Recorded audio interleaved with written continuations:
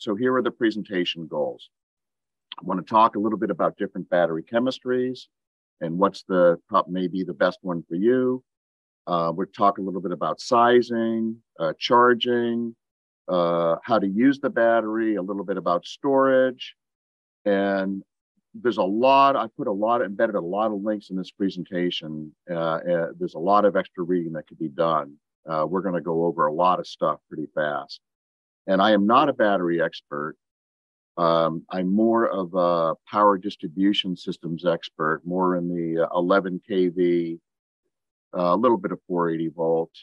Um, but I have been involved tangentially uh, in data center applications where we were building new projects with batteries for UPSs. Uh, and I'm talking about on the scale of maybe 30 megawatts uh, that has to hold for seven minutes long enough to allow uh, generators to start. And um, kind of interesting to watch uh, some of the changes that have happened uh, over the last uh, three years or so. Some changes in, in conventional thinking. So this chart talks a little bit, I don't know, can you guys see this okay? it talks a little bit about battery chemistries and uh, versus size and weight. And on the horizontal axis, axis, we have energy density by weight. So essentially that would be ampere hours uh, per watt hours per kilogram. And on the vertical, uh, it's more about energy density by volume. So horizontal is how heavy stuff is, and the vertical axis is about how how big it is.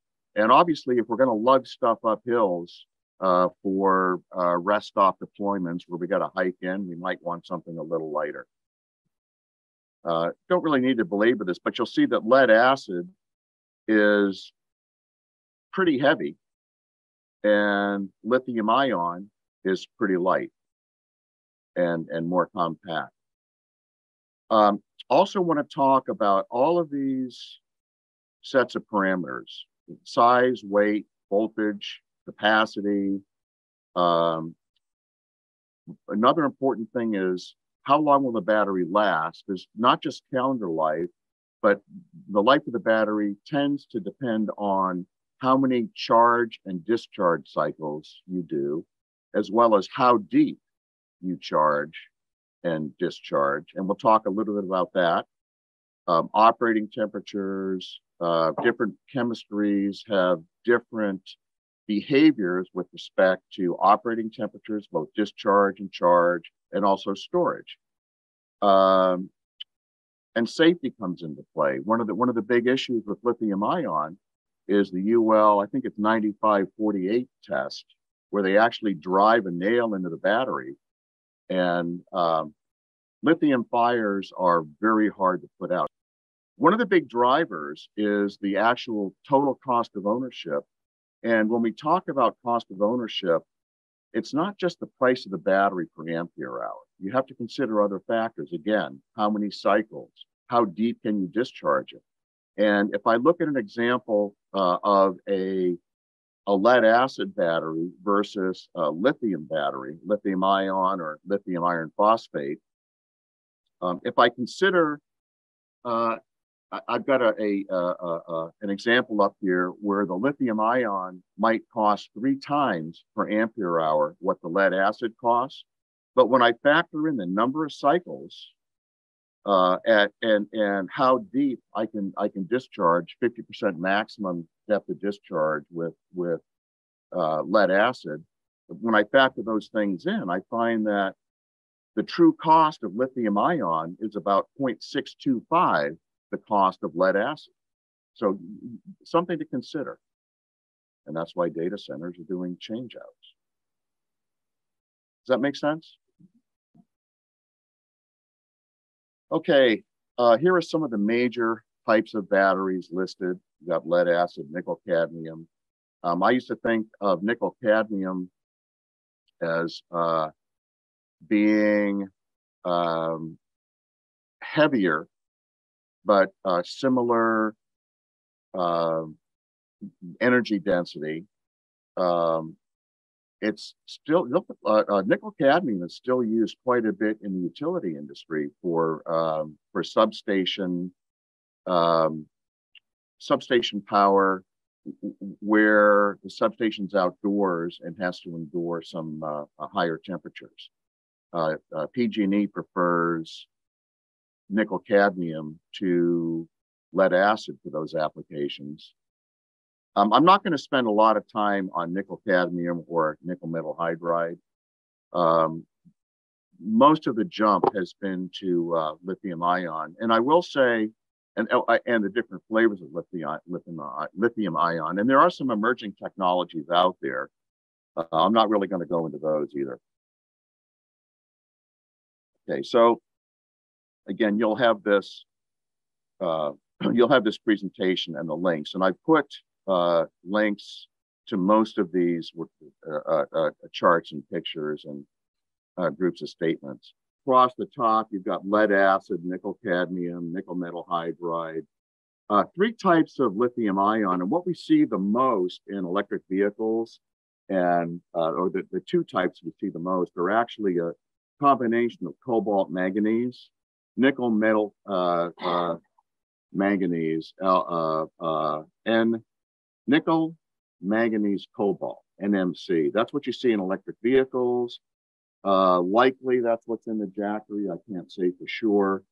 Uh, but when we talk about generic lithium ion, for the most part, it's NMC, nickel, manganese, cobalt. Um, yeah. Um, versus lithium iron phosphate, uh, uh, also known as LIFE for ferrous. Uh, phosphate is PO4, and we abbreviate that LFP. So we got N, uh, a lithium NMC, lithium uh, LFP. Those are the two most common. Um, and I've highlighted some of the things uh, that that we look at in red, um, including things like the number of charge discharge cycles, um, and yeah, we'll, we'll, we'll, we'll, we may spend more time on that if, if, if we have time. Um, so these are the two major types of lithium ion, NMC and LFP. And we look at specific power, specific energy. Um, specific power is by weight, how much current can you draw for a relatively short duration or how much how much current can you draw how much power can you draw versus specific energy is how long can you draw it's how much energy. So it's power versus energy. Energy integrates over time. When we talk about energy we're talking about hours. We're talking about power and time together. When we talk about power is just power.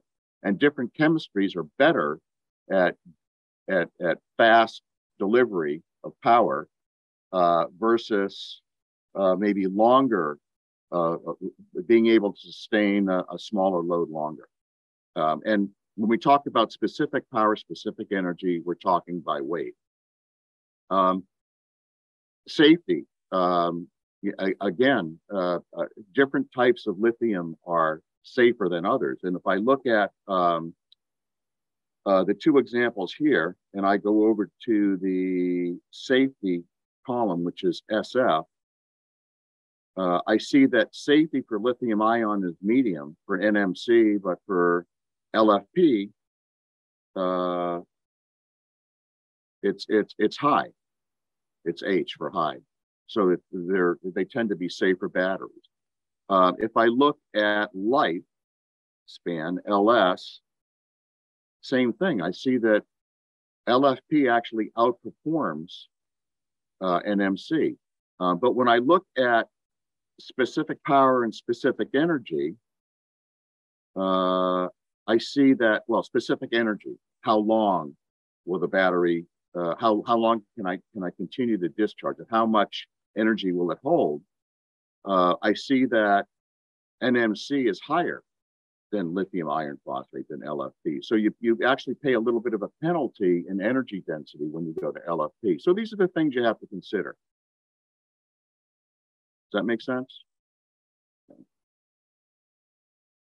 So this is graphically uh, how some of these parameters are presented.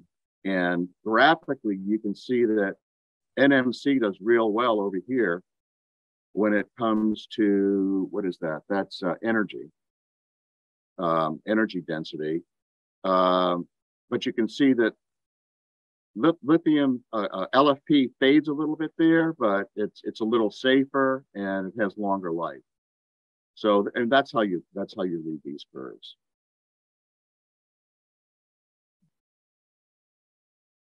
So now let's talk about. I've sort of made a case for lithium over lead acid.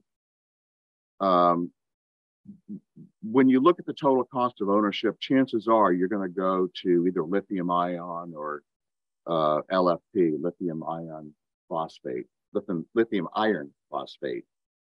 Uh, you're talking about sinking a bunch of bucks based on getting a longer lasting and better performing battery. Uh, but you, you, got to protect your investment. If you don't, it's not going to last and your total cost of ownership is going to go up, not down. So you got to take care of it. And when we talk about taking care of our batteries, we have to we have to get some nomenclature down and understand a little bit about how they work. And we know that batteries have two electrodes, you know, positive and negative. Um, that the energy can go in two directions. One essentially we're draining energy from the battery when we discharge it into our load. And when we restore or put energy back in, we're charging our battery. And ions, uh, what are ions? Do we know what ions are? Ions are like charged particles. Uh, they're um, uh, compounds, chemical compounds with uh, additional either one electron too many or one proton too many, so they're electrically charged. And they're small uh, in the lithium ion battery, and there's a membrane, and they migrate back and forth depending on whether you're charging or discharging. And um, it's almost like breathing. It's like you're breathing out and breathing in. The battery's kind of breathing. It's either discharging or charging. That's that analogy down here. Kind of, kind of interesting. Um, okay, here are, we talked about charging and discharging. There's an anode and a cathode. And the positive, uh, the, the, the positive pole in the battery is the cathode, the negative is the anode. And our uh, current is kind of going in this direction during when we're when we're discharging the battery and then it's going the reverse whoops when we charge the battery. Um, so discharging and charging i mean it's not rocket science. You're either putting energy in or taking it out. And and you have to be careful uh, about doing that. And when you largely discharge a battery and recharge it that's a cycle. Um, the capacity of a rechargeable battery is often measured in ampere hours. Remember, I said power and time. The voltage for whatever battery pack you have is going to be pretty much a constant. So just forget the voltage a minute. The thing that's going to vary is the number of amperes can deliver for how long. Um, we have uh, discharge and charging rates. And every battery, if you look at the data sheet, it's going to have, uh, you know, there, there are different parameters, but one of the parameters you'll see for a charge rate or a, or a discharge rate is um, how long can it deliver current, or excuse me, how much current can it deliver for two seconds? How much current can it deliver for 30 seconds? How much current can it deliver, or it may be longer than 30 seconds? And then how much current can it deliver for a long time continuously? And we call those values of current, they're values of C. And a lot of times we look at um, the continuous for a long period of time.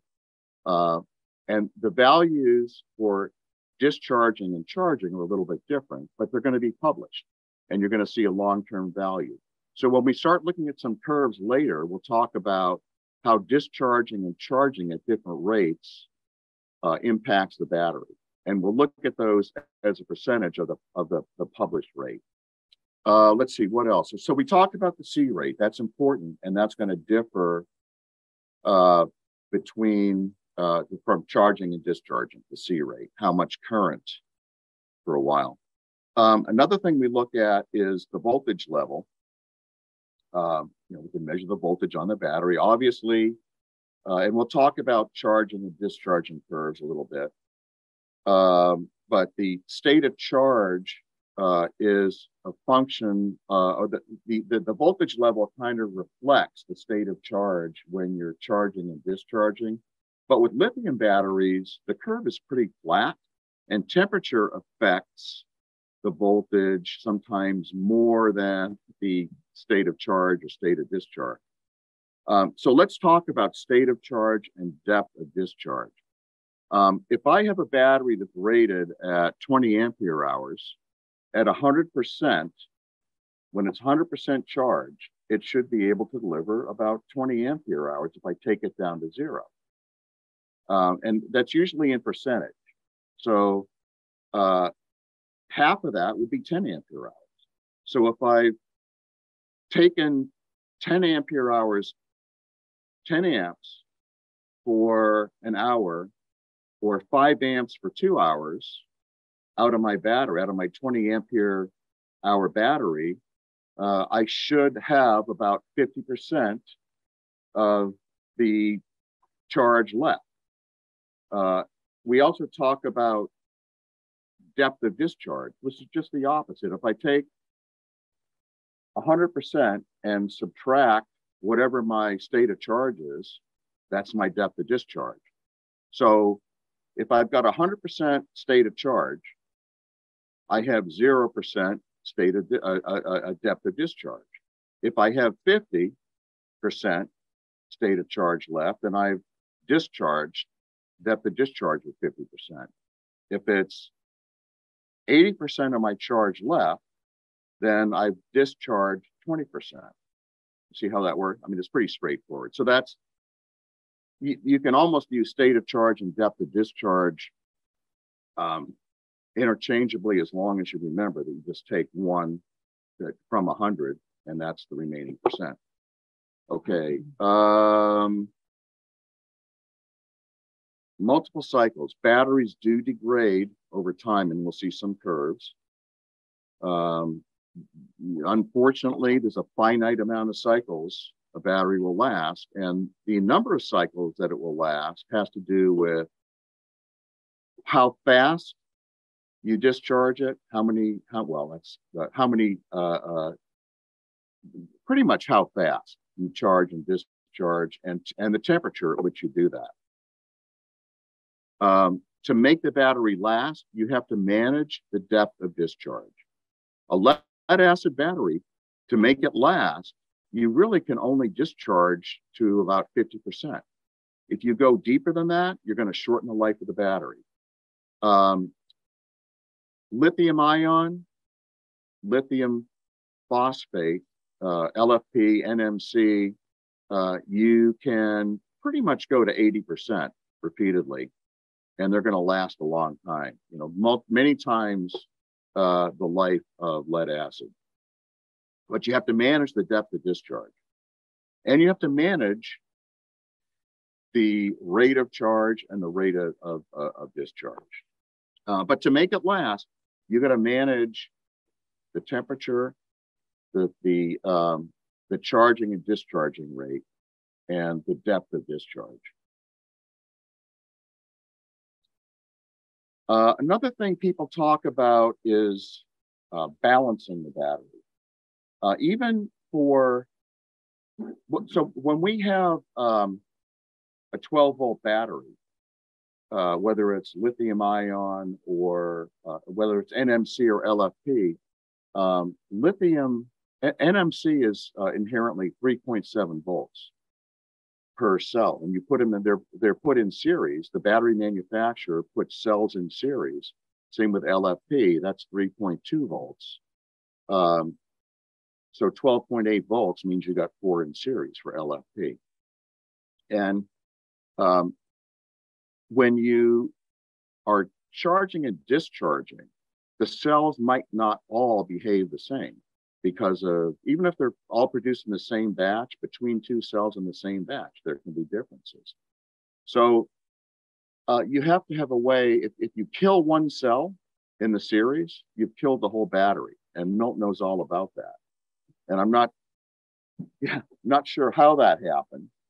Um, we'll talk about some of the ways to do that. But one of the things that um, that you do to maximize the life of your battery is by balancing it.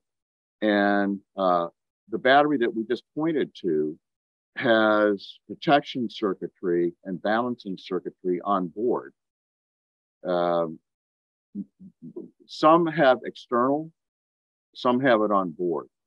Uh, I've got a, a Shorai uh, 12 volt, I think it's a 14 ampere hour that puts the balancing circuitry in the charger. And it's got a special charging port. And equalization uh, of the cells is done, and the balancing is done during charging. Um, there are other batteries that uh, Michael was Michael uh, Fisher was talking about some batteries that that don't have that, and there are external balancing uh, devices that can be procured pretty inexpensively. I can't tell you how well they work. The batteries I'm familiar with, usually we'll have them in the charger or they will have onboard uh, balancing circuitry. Um, and, and I'll talk about that in, in another slide. Um, let's see. So there's a paper written by Texas Instruments who makes chips that go into chargers. They want to sell their chips. So somebody wrote a nice white paper on how imbalance harms performance and different types of balancing. And this, this paper is, is, a, is a great paper if you want to take some extra time and read it. Um, Bioenno, a lot of us have Bioenno batteries. Um, they talk about having an onboard battery management system, uh, and they call it a PCM, uh, protection circuit module, that's actually on the battery. And these are the types of protect, protection it's providing over current, the voltage, over discharge. It will only let you discharge to a certain level. Um, if the temperature gets above or below a certain point, it'll cut out. Short circuit, there's theoretical protection. I would, wouldn't necessarily want to uh, try it. And the charging circuitry is, is integrated.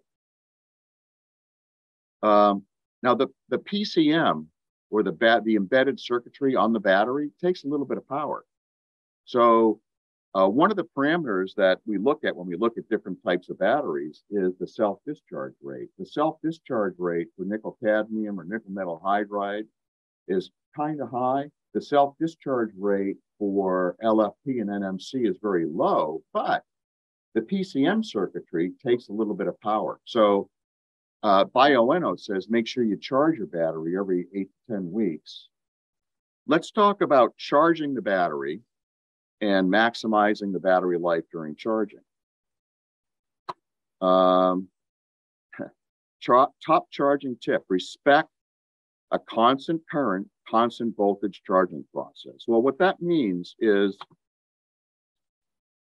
for a battery that's somewhat depleted, the voltage is going to be low.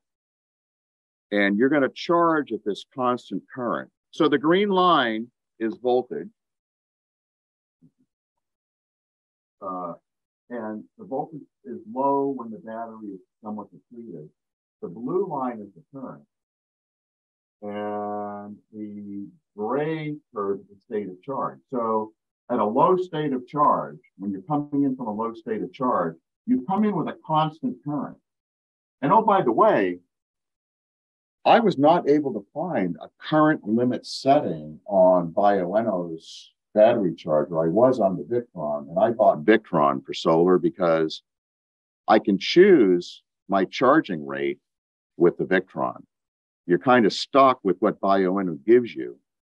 And as we'll see, the charging rate uh, when you're charging a battery impacts its life. So the voltage starts low, the current is constant. Then when the voltage comes up to a certain level, you see by the green line, you see the vertical line. Um, at that point, there's a there's a transition, and the charger goes from constant current into a constant voltage mode. The voltage stays relatively flat. Yeah, it's, it's, it's increasing a little bit with state of charge, but there's a knee in that curve, and the current starts dropping off. Does that make sense? That's a, that's a concept of constant current, constant voltage. There were two charging regions to oversimplify. And some people talk about more regions. They talk about, particularly with lead acid, they talk about bulk charging, which is, well, whenever you go to, yeah, right. Um, the, the, the lead acid people talk about three charging states or four charging states or three. They talk about bulk charging. Well, that's when the battery is depleted. You're putting in the constant current. Then once you get up to a certain level, you go into a, what they call absorption charging, and that's uh, up at 98% state of charge. This is for lead acid.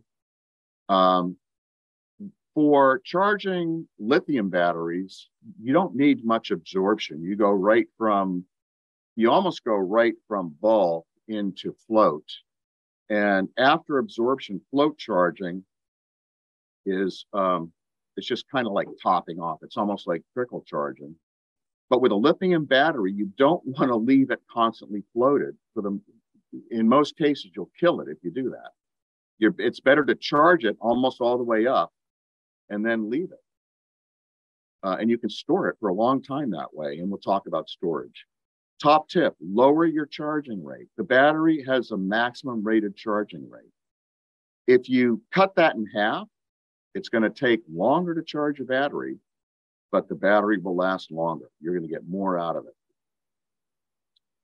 Um, and this talks a little bit about why.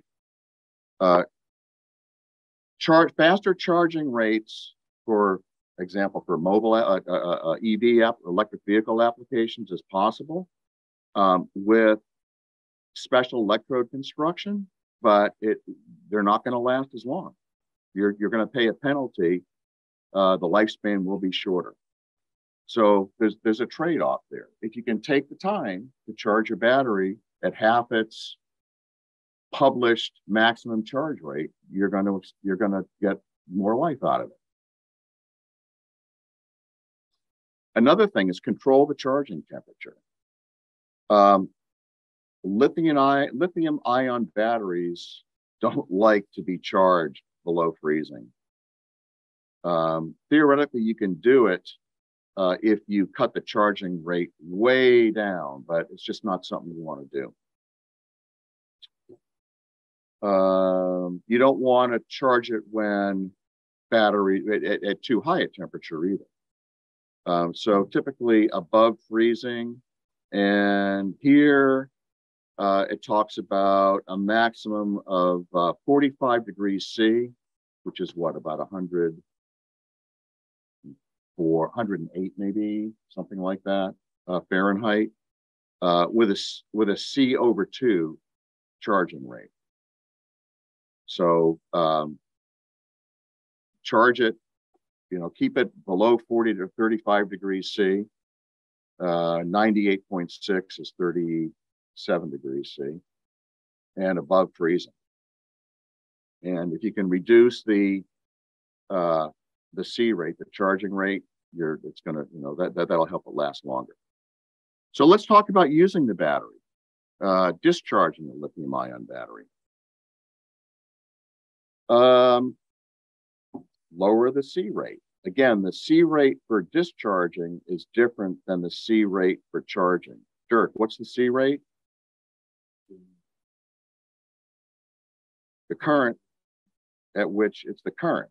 the it's the amperes that you're either putting in or taking out. Typically, the C rate for charging is lower, um, but at high rate of discharge, um, you're you're you're going to shorten the light the, the the life of the battery a little bit. Um, and this this this curve here talks about the effect of different C rates at a constant temperature, and the curves that uh, have th- this is actually capacity versus uh, uh, let's see, is this capacity? Yeah, capacity. Uh, the you the higher capacity curve on top is at a lower C rate, and this is giving you capacity, different uh, capacities at different, showing you how C rates during discharging impact capacity. You see a substantial, substantially lower uh, capacity with the lower curve at the same temperature. Uh, be mindful of the temperature. We just talked about the importance of, of temperature when you're charging, similar with discharging. Um, this curve shows at a constant C rate the impact of capacity on uh, uh, with temperature. And you, you, you see that uh, at lower temperatures, the capacity goes down and you don't want to be above 35, 35, 40 degrees C. Okay. Vaporize. Uh, these some of these slides came from Saft, who is one of the uh, major global guys for industrial batteries. Um, but I think they're in Europe, so some of the wording is a, a little funky. Vaporize a partial depth of discharge. This curve is talking about uh, at, if, if I if I keep this the discharge rate at C over two, the, the published acceptable discharge rate, if I keep it at half that, um, the impact of depth of discharge on the number of cycles. And I see that if I stay at, uh, well, if, if I go all the way down to zero, I'm going to get less light on my depth of discharge. Or if I go 100%, my state of charge is zero, but I discharge the battery all the way down, uh, I'm going to reduce the number of cycles. Uh, if I reduce the depth of discharge, I'm going to get more cycles. That's all it's saying. So, you know, one way to do that, if my requirement is, uh, let's say, 10 ampere hours, if I buy a 20 ampere hour battery, then I'm paying more for the battery, but I'm going to have half the depth of discharge. This is pretty good. This chart talks about LFP voltages versus the state of charge. And it's just giving you the state of charge in percent in the first column, the voltage in the second column, and uh, at two at, at 0.2 times C, and this is for discharging. Um, I'm not sure what VO, v, oh, that's open circuit voltage. That's what that is. VOC is probably uh, voltage open circuit, like with no load. Uh, but if I if I put a light load uh, in this column, in the in the third column, I can see that if I get down to a 20% state of charge, which is what's the depth of discharge with a 20% state of charge remaining? Was 80, that's right. So 80% depth or 20% state of charge, 80% depth of discharge, I'm going to expect to see about 12.9 volts. And again, this is going to go up and down based on temperature. Uh, do's and don'ts for storage. Um, here we talk about storing between state of charge, storing, having the state of charge in lithium batteries of between 50 and 60% is optimal. Um, you can store them below freezing as long as you don't use them. Uh, they hate heat and charging and discharging. Um, they, let's see, this bullet here, uh, uh, uh, bad at high temperatures. Okay, so um, at super low temperatures, uh, having 100% state of charge, I should, should have said that backwards. Super low temperatures, you can store them. It's optimal to have 50 or 60% at, you know, below freezing. Uh, the electrolyte typically won't freeze. You can store them as long as you don't use them. Um, for higher temperatures, above 45 degrees C, don't store them at zero you discharge and don't store them at 100%, uh, 50 to 60%. Store them at 50 60%, uh, and don't use them below freezing. Don't charge them or discharge them. And uh, you can store them at higher temperatures, but um, above 45 degrees C, particularly, uh, don't be charging and discharging. And don't store them at 100% charged or 100% discharge at, at high temperature. They don't like it. Okay, sizing example. So we're operating a station at a rest. We're operating a, a, a, a transceiver at a rest station. Uh, four hours at medium RF power. I'm going to assume maybe 30 seconds of transmission every five minutes.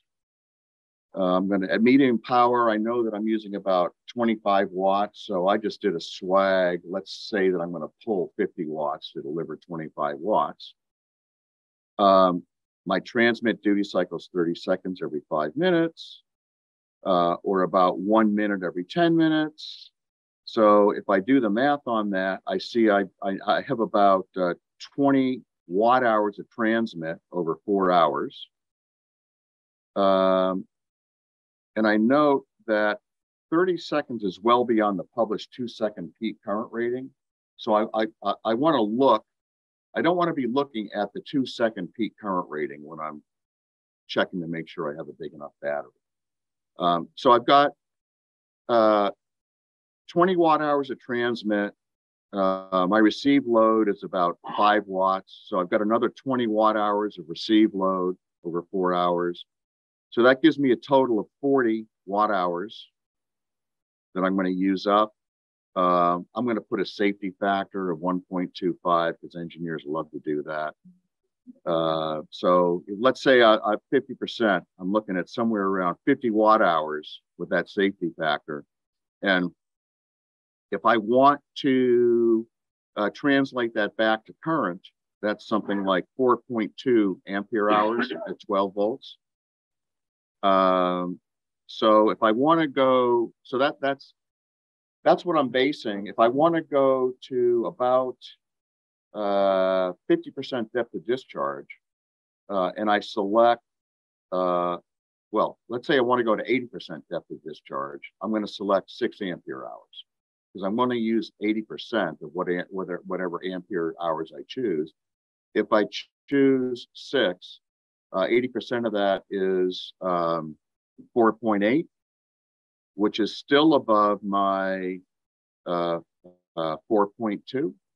And so I know that if I use that thing at medium power for four hours, I'm probably not going to go below 80% depth of discharge, which is good.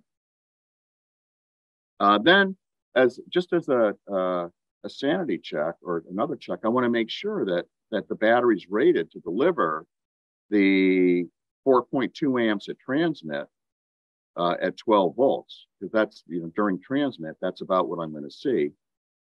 Uh, and this battery is rated 12 amps. So I'm almost at a discharge rate. If I'm rated at 12 and I'm pulling four, what's my what's my discharge C? It's C over four. It's 12 over uh, four, which is about three. It's about uh, C over three. Uh, so that's a pretty nice, comfortable place to be and not beat the hell out of my battery. So that's kind of a size, a simple sizing example.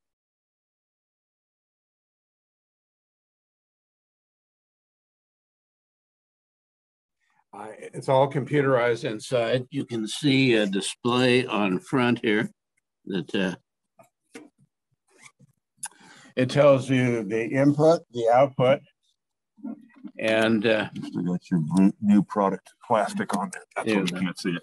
There we go. Yeah. Now we see it display.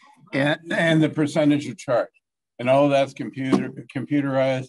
You don't have to do any calculations in your head. Uh, uh, the uh, folks that engineered this take care of all that for you. And uh, what are the pluses and minuses on this for uh, uh, ham use? Well, uh, the plus is it has terrific capacity. Uh, what you do, this is roughly the equivalent of one circuit in your house. And with uh, 60 ampere hours, so long as you don't mind, put your toaster oven on here, uh, it'll uh, last quite a while. The uh, downside of it is on the 12 volt side. The only 12 volt outlet is actually right here and on a USB-C.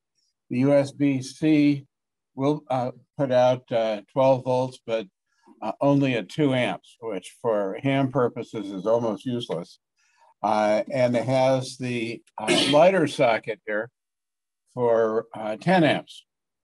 Now, what you can't do is cheat on this because it has internal circuits on here. And when you hit uh, 10.5, this sucker will shut down. Uh, it's designed to protect uh, battery life and the circuit itself. And remember, it is a lithium ion battery. So you're going to have, uh, if you don't take care of the care and feeding of this thing, you have a fire threat out of it, uh, uh, probably in spades because it's a pretty good size uh, uh, battery. How do you deal with that? What you do is you simply get your power supply and plug it in the one 110 side. I have used it uh, as a backup, for example, on Dipsea that had my little MFJ power supply plugged it in and I will put out whatever the rating is on your on your power supply. So that's a way to do that. A uh, couple of comments, if you can just back up and take a look. This is the equipment that comes with it. I, this is actually just half of the set. the other half of the set is uh, uh, the uh, solar charger. I, I, didn't bring those out. We, we, have them in the back back there. Uh, you have two 100 watt panels that will put out uh, uh, 200 watt charge into this. It has the uh, charging uh, receptacle that plugs in here, and this is where your solar goes in. Here is the charger for it. This is a smart charger that goes into an even smarter battery and uh, it plugs in with a little bar barrel connector right over here, and it'll tell, show you what the uh, rate is. Uh, I'll talk a little bit about uh, uh, charging on uh, solar. This is from Harbor Freight, but it's a controller. If you use anything but the Jackery panel that comes with it, you must use a controller uh, because the voltage is going to come out too hot, too high out of a solar panel, and you're apt to fry your battery. Yeah, there are two things. Let me talk, about that. There are two things when you get a controller, you absolutely need to look at a control for lithium. You should be looking at a controller that allows you to set a maximum charging rate that's programmable that you can set at C over two or C over three based on the spec of the battery, number one. Number two, it's important to get what's called an MPPT controller so that you optimize the voltage uh, based on the uh, the amount of sunlight you're getting. Because and during any given charge cycle, uh, it's going to change. Yeah, MPPT and programmable current limit, and set the like that current limit to C over two or you know whatever you are willing to tolerate. But uh, anyway, uh, this will run your whole ham shack. Uh, if you're going out camping and going to have extended period, uh, uh, this is going to be your choice. Bob, you want to come over and address your box here? Yeah, this one is kind of similar. This there was a a website called High on Solder that had a bunch of Go kits, and one of them was a battery module. This has got a 40 ampere hour, 12 volt lithium uh, LFP battery. Uh, it's got a, a, a, charge controller from um, uh, uh Mountain Western Mountain Radio. It's called the Epic PWRgate, I think, and it lets you optimize for LFP. Um, it has a port for solar, and it's an MPPT. Uh, it's got a port for a power supply and a port out to your, your radio. And then um, it's got a little circuit breaker here and kind of an expensive uh, meter that will monitor uh, charge in and out. Um, I leave the circuit breaker off, and I have a feeling whenever I turn the circuit breaker off that I probably wipe out whatever uh, memory was in here. So I just typically look at voltage. I see that a 13.33, which means it's well above the 12.8 I was looking at before. And by the way, we used this yesterday for four hours at um, Muir Beach for the dirt fondo. This is what we use for our, our rig, and it looks like it's got plenty left. We have dealt with this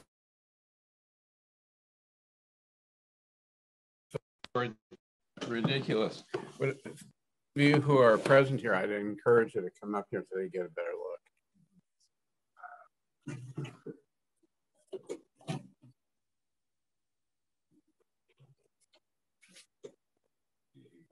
Uh, we're now into the uh, lead acid arena. Uh, for my lead acid, I like to use uh, AGM because it's a little bit more stable. You don't have the settling of uh, lead to the bottom of the batteries as much as you do with just a pure lead acid battery.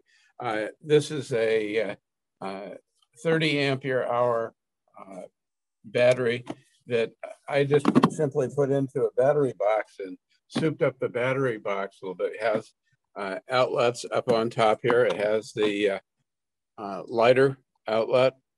Uh, you lift uh, how heavy is that versus just out of curiosity versus the 40? Heavy. and about the same, uh, a little less. the 40 is a little bit less, but not a lot. Question from Bruce as you go. What does all this stuff cost? Well, you have quite a bit of hardware here around your battery. So, the, and in here, can't have, I carry the charger. The reason I don't use fill it up with a full uh, battery is I carry a lot of uh, peripherals in here uh, uh to be able to charge the battery. Uh, this is a uh, smart, I use the term loosely, from Harbor Freight. It has different different charge modes depending on the battery. And when you plug it in, it will display uh, the type of battery, then you select the one that you want. And uh, the rate on AGM is different than it is for regular lead acid, I might add. Um, this is uh, the Go, my Go Kit battery has really good life on it like uh, Bob, this is what we use at Tennessee Valley for the first half uh, of the day on uh, Saturday. And so far, your cheap AGM has way outlasted your expensive. Uh, oh, yeah.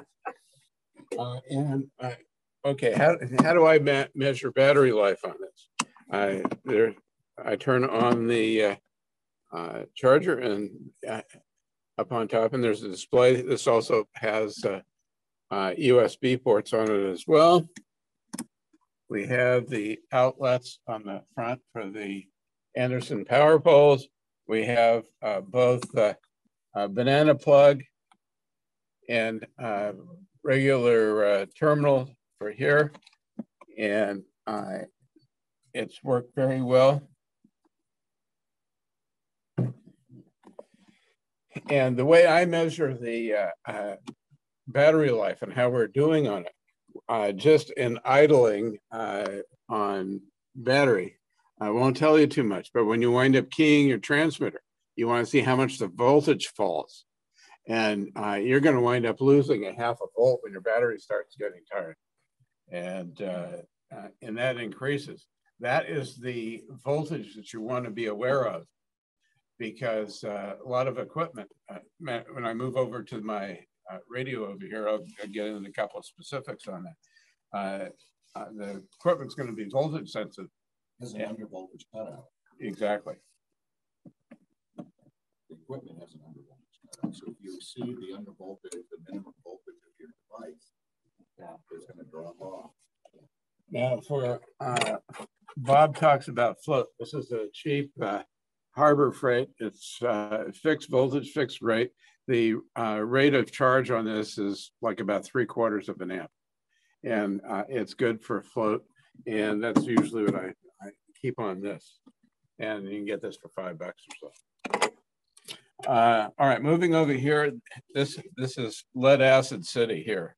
Uh, all right, this is my go kit, and it has built in a uh, 12 ampere hour battery, roughly the equivalent of this one right here. Uh, and uh, this is AGM. These two are not. matter of fact, the front one may be. I, they, I, they may just be straight lead acid. The uh, uh, big ones this size, this one and this one are 12 ampere hour. The small one is 7 ampere. 7 ampere hour is going to be absolutely the least that you're going to want to uh, take for uh, public service exercise. it's going to depend on the output of your uh, transmitter and how much it draws. Uh, this is wired through a circuit up on top up here and uh, it has over here the capability of charging using a wall wart through the uh, little barrel port right here. And uh, what I can do is use this, plug this in here, make sure I don't, because this, is on, or it will be when I put the wires are on. So uh, you go in here and can use the uh, float charger for that. Just put the clips on the end of the uh, uh, or plug in a, a wall wart. And when it's charging, the light will display. So uh, you'll note that it's on. Uh, to keep track of the life of the battery, and I do this when uh, it's running, Pl plug that in. So dual purpose uh, lighter uh, outlet on, on, that. And this little radio draws uh, or puts out 25 watts. So the uh, it draws maybe six, seven amps. And uh, to give you an idea, uh, when a couple of years ago at the Dipsea, uh, our regular radio didn't show up, ran three quarters of a day off of this box here, uh, which was impressive for me. I didn't think it would last that long. You know, it'd do as well as it did. And it was only the end of the day that we wind up picking up a uh, uh, TMV 71A to finish up the uh, drill. So this can get the job done. This is totally self-contained. The only thing that's not here is a, an antenna, and you can actually put an antenna on, on this, but that, that's for another day. Okay, uh, moving on to uh, the uh, FT60. Uh, FT60 uh, is uh, my favorite handy talking. Most people, I try to sell as We got uh, not literally, but to uh, argue for them uh, when somebody inquires what's a good entry level handy talking. This is it. but again, we have care and feeding of batteries on the FT60. The FT60, this has a lithium ion battery on it. It doesn't come with a lithium battery. It comes with a, nickel metal hydride. This is a uh, replacement nickel metal hydride battery. And this is uh, a, you can put uh, uh, the, well, yeah, well, this, yeah, well, the, the, this is a, a, double A replacement. You don't charge this sucker, even though these are uh, uh, lithium batteries. Uh, no, most people put uh, alkaline batteries on here, but they do sell uh, uh, lithium uh, double A's that have uh, better life. I haven't seen lithium double A's, I've seen nickel metal hydride double A's. Nickel, the, uh, aren't the lithium ones usually larger? Uh, You're looking at them. Yeah, they're selling. Oh, these now. are lithium, not uh, recharge, not lithium ion. No, no, these are not lithium rechargeable. You These do are not, lithium, right? you right, don't right. want to recharge anything that looks like this. No, but you can get nickel metal hydride that are rechargeable in double A. And uh, anyway, uh, so we have three different, uh, total different uh, chemistries on the, uh, the batteries here. And uh, this is a smart charger.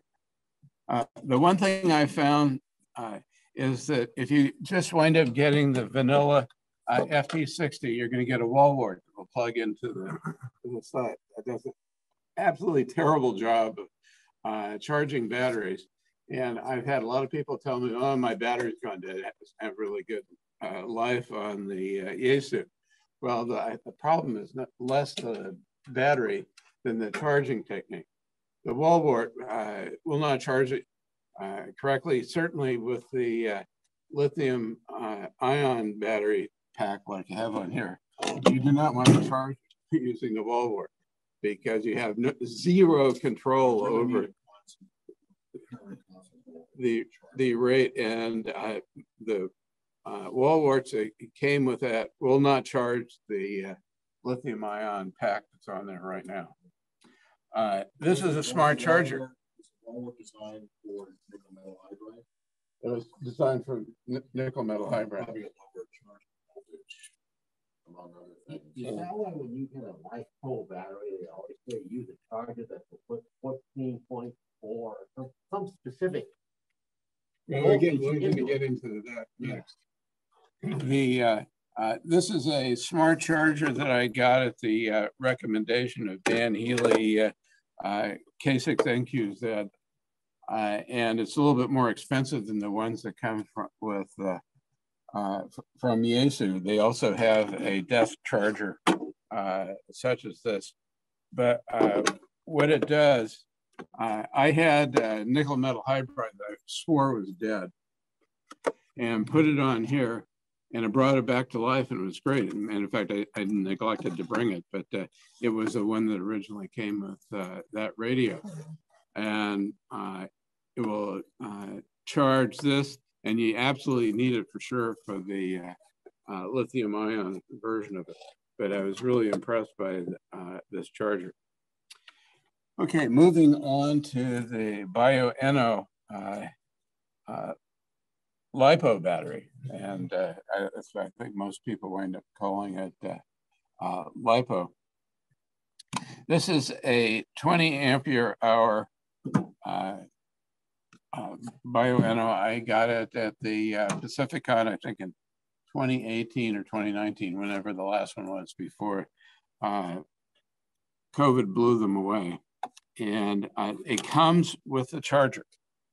And as someone uh, observed earlier, uh, there is a light on the back of it right here that uh, when you plug it in, uh, it's red until it goes to full charge and then it goes to green. I have not measured the output on it, but my impression is that it stops charging. Uh, and that's because this tells it to uh, not accept any, any more juice coming in. And Is it possible that the charger has uh, died? uh, it worked. Um, I can show you when we're through here. Uh, anyhow, uh, I used this for a year.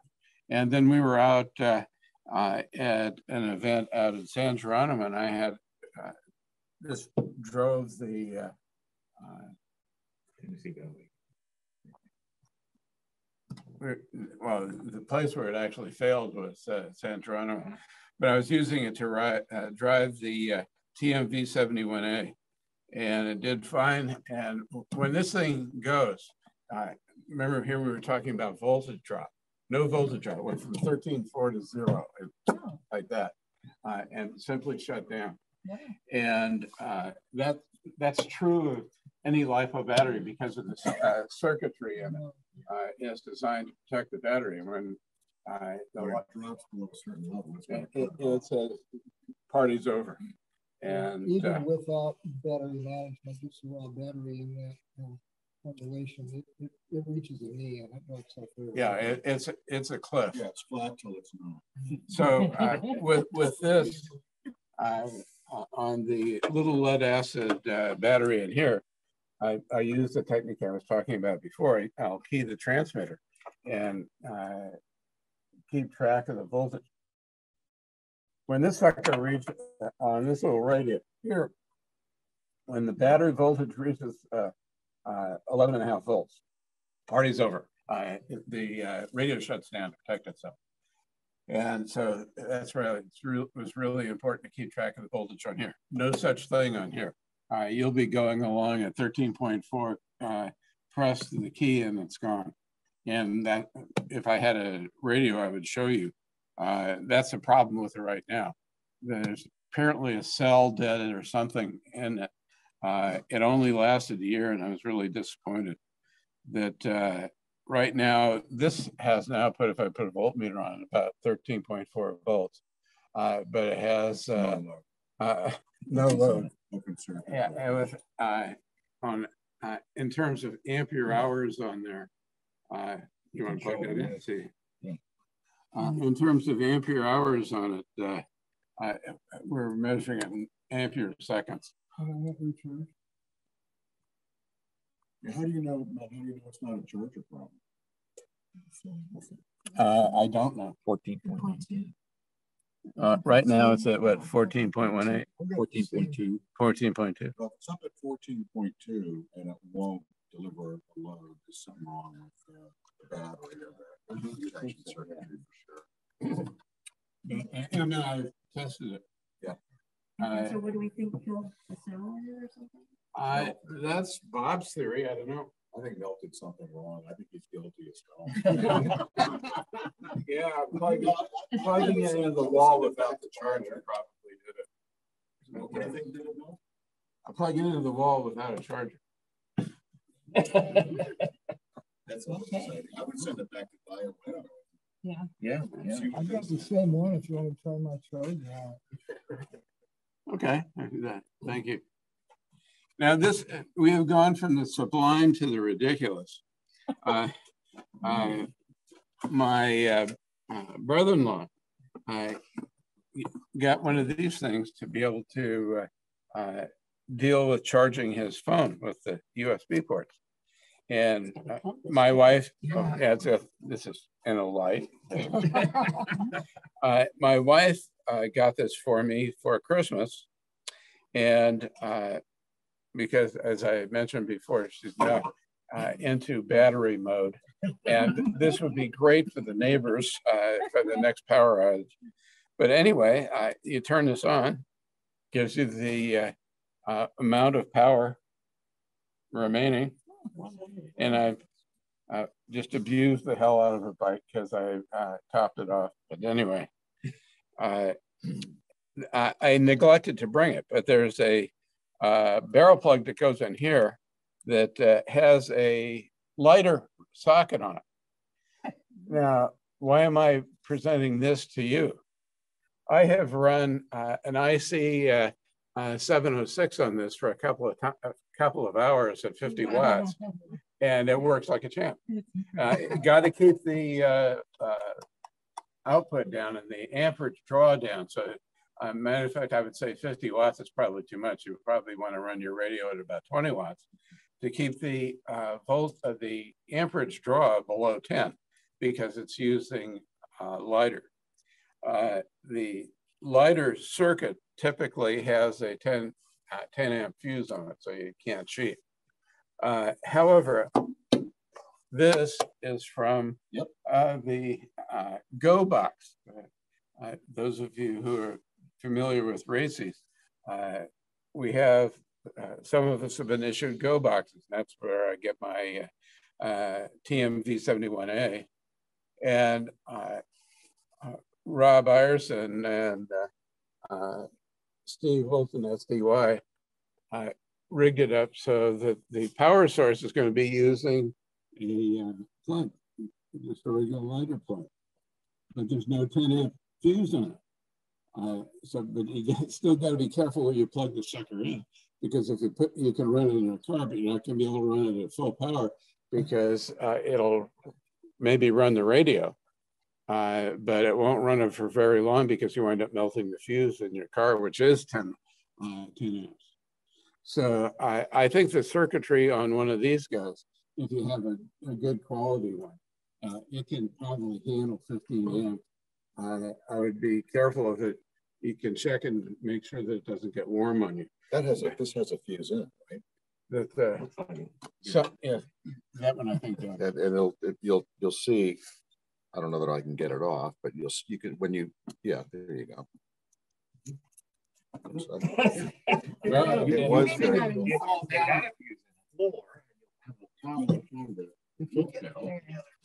Yeah, it's got a, uh, can you read that?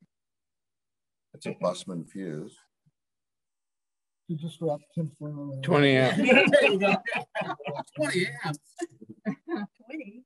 Yeah, uh, uh, bear in mind that that's from the Go box, so I think it was. uh, Probably Steve put that twenty amp Yeah, fuse in. I I- I think that swa- the fuses were swapped out. But uh, uh, this little radio operates off of by plugging in here. Now you can see there's juice in here. Uh, But uh, this won't draw over 10 amps on its worst day. But uh, when you start using a, a big rig on it, that's going to be another matter. Uh, but that is very handy if, if remember you take in, into consideration the battery you have and the rig you're trying to run off. What you want to do is if you can't get the battery up to meet the rig, you got to bring the rig down to uh, meet the battery. Can also point out that you can start your car with this. thing. Oh, yeah. No, uh, the- this, this, uh, good point. Uh, my wife got it because of this, but it's also a, a car charger. So it'll give you an idea of the short-term capacity this thing has. I don't know whether it has uh, uh, capacitors in it or just a. Oh, is that a, uh, is that what, one of the ones that'll jumpstart? Yeah. Yeah, okay. Oh, that's cool. That's amazing.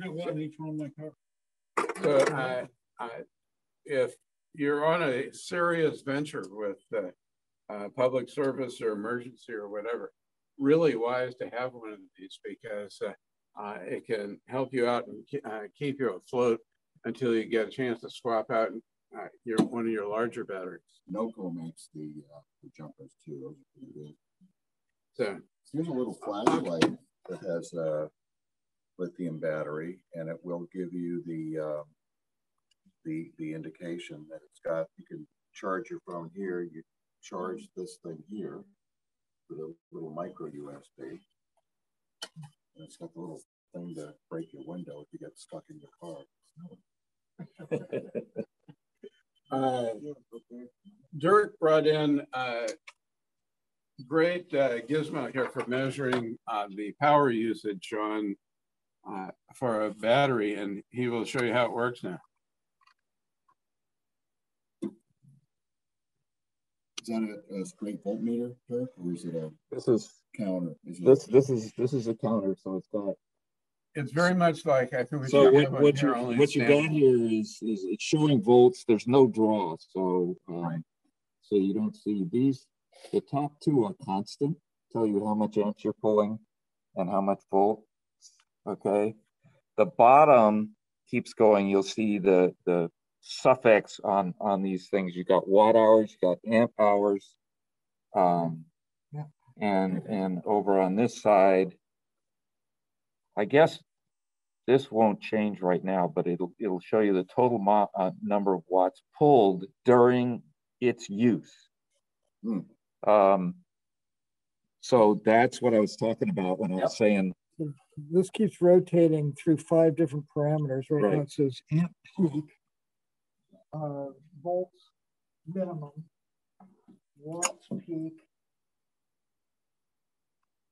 amp amp hours. hours, There's one more, I think. Uh, watt hours. watt hours, right?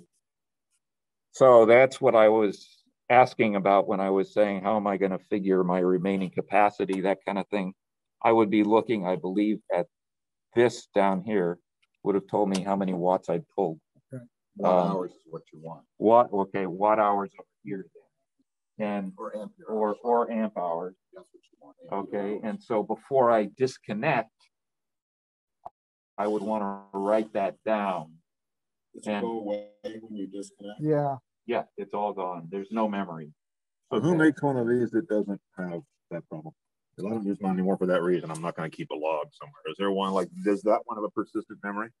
No, no, he, he opens the breaker, it's gone So too. none of these have persistent memory. Well, there, there may be one, I just don't know. Yeah, where. 'cause that's, Yeah, that makes a big difference Otherwise, You need to have one of those little, uh, hearing aid batteries in there. Right.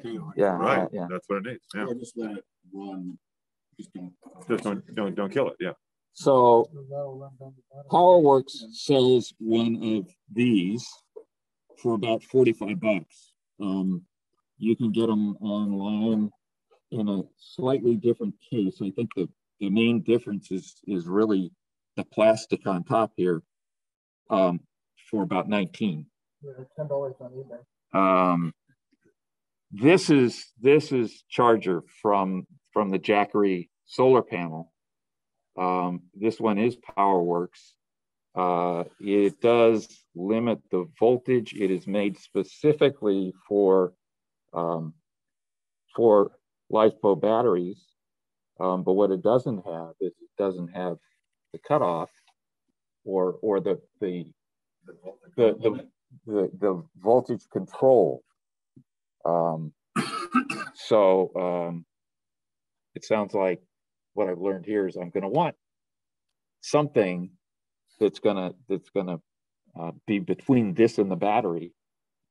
Is that right? Well, you, you just, you need to get a charge controller that has some definable maximum charge rate. That you are looking at your published C rate, and you need to, you need to get one that is whatever you choose, C over two, Right. something less than C, preferably C over two. So, so the, um, To give you a concrete example of what Dirk's talking about, uh, uh, Rob Rowlands had uh, put in a couple of solar panels to charge a LiPo battery. Didn't put one on. And the uh, LiPo batteries is now in LiPo battery heaven because he just absolutely killed it. Lucky than, well, like most Gemini. so these, these ones come with bare ends, so you're gonna have to put your own, um, Anderson. your own Anderson power poles on it. Uh, this one I originally connected to a solar uh, panel set that my wife decided we should get because one of her friends did. Um, and and uh, since I've gotten the Jackery one, I've had to um, I've had to make a, a jumper between the two so that I can go from careful. from that to uh, to power poles. Be careful of that when, when you put a, a controller between your solar panel and your battery, that you got the right controller for that battery. And the fact that it says LifePo uh, compatible doesn't necessarily mean it's the right, there are a whole bunch of parameters you need to look at to, to make Yeah. sure. And that was designed for the uh, Jack. So this one, this one is, is one that Rob Rollins suggested.